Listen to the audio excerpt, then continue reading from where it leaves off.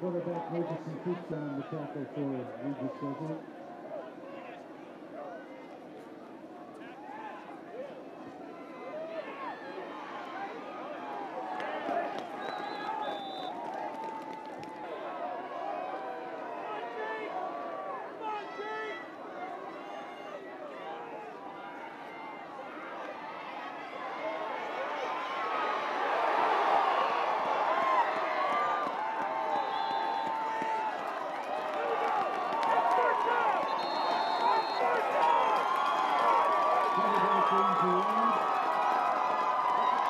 That is the end of the first half. We discover 24.